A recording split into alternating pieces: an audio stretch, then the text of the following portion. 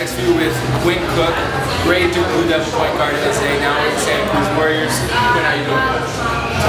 You tired, man? You, you hustling and busting. I saw you yesterday, balling out. Uh, you on the, the G League um, list for almost every time I see you. Having great games. Uh, tell me how it's impacted you playing with seeing Steph and seeing these guys that are in your, your parent organization. How it's led to you having.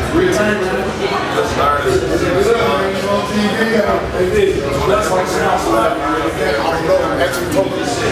Are you learning things from Steve Kerr? Is it uh, some of the assistants, uh, guys like uh, the GM, like Joe Lacob? Is it that, or is it just you know me just watching? What is it? Watching it, it's fun. I get a lot film, a lot of questions. Um, a lot.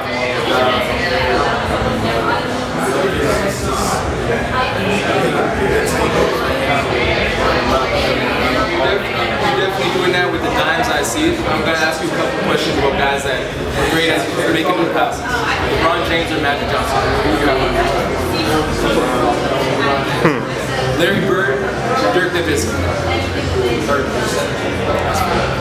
And uh, now we're to switch it up a little. Okay, superhero.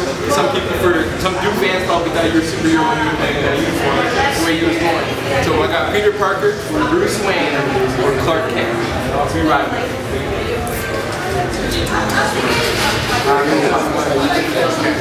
We going to end it off with a little flavor.